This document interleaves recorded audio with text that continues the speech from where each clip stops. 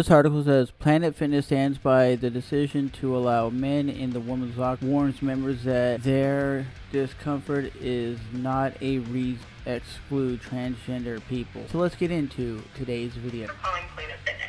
Thank you for calling Planet Fitness. I was wondering, what is the protocol for canceling my membership? Okay, I can go ahead and give you that email. Well, are you aware of what's like circulating in the news right now? So in Planet Fitness, 12 year old girl was in the girls' locker room. And Planet Fitness allowed a man in the locker room because he, quote, identifies as a woman.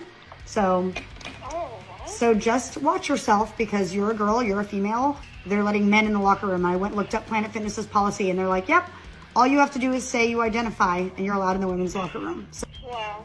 I, So- yeah, I did not know that. Yeah, you that. you're very welcome. Due to your transgender policy, which violates women's rights and safety, I am proud to cancel my membership at You know, Planet Fitness is one of the biggest uh, gyms in America. I don't know if they're overseas, but Planet Fitness has always been looked at as a joke. They don't have really any barbells or dumbbells. They're basically a gym based upon stupid ass uh, machines, right? Their machine quality is good, right? They use the same machines like LA Fitness or uh, Crunch or all these other ones, right? They have good equipment. But now, the ones have the lunk alarm and these weird policies.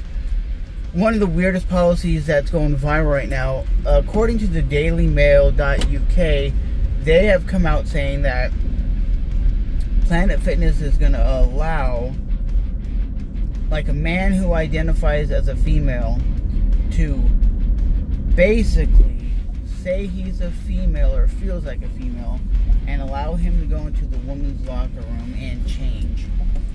Would you want your wife, your girlfriend, your daughter, your friend to be changing with some like 80 year old man or some 40 year old freak who has some mental problems? I'm not saying that it's not okay that somebody might go, Well, I feel like this. Okay, if you feel like you're a female, that's okay.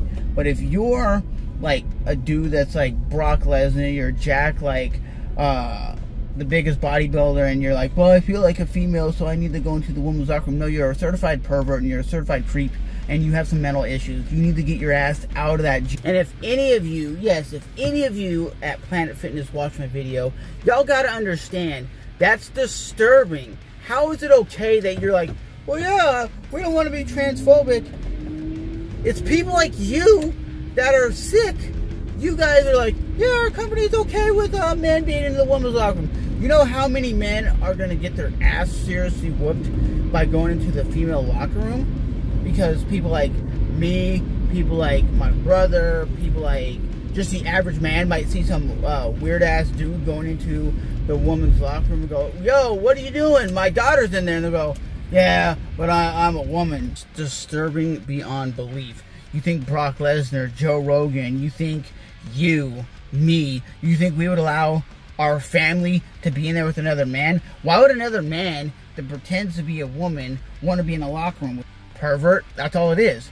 Or the people that are genetically like not even in the top 1,000 of their like um, of their uh, athletic career and they're doing some sport, they can't even hang with the average man. They go into the women's division and completely dominate and they get all the accolades and they're like, yeah, look at me, I'm a badass. She's not a badass. You're competing against women. At the end of the day, Planet Fitness, you got to do better, my guy. As a company, you got to do better because you're allowing the same, or I should say, the different sex to go into this locker room, right?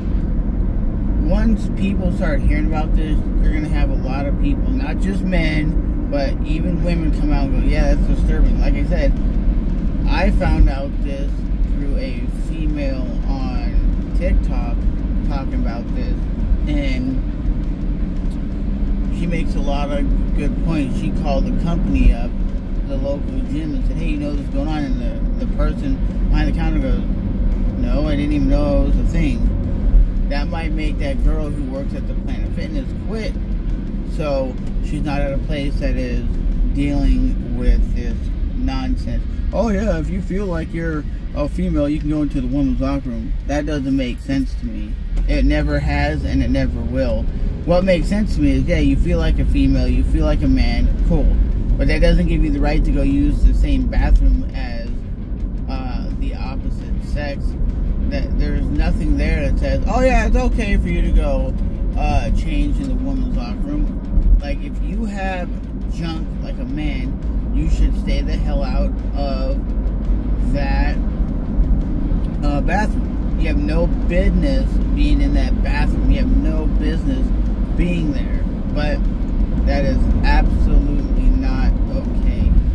But that's just my take on it. Like I said, it pissed me off when I seen the video, and it's it's nonsense.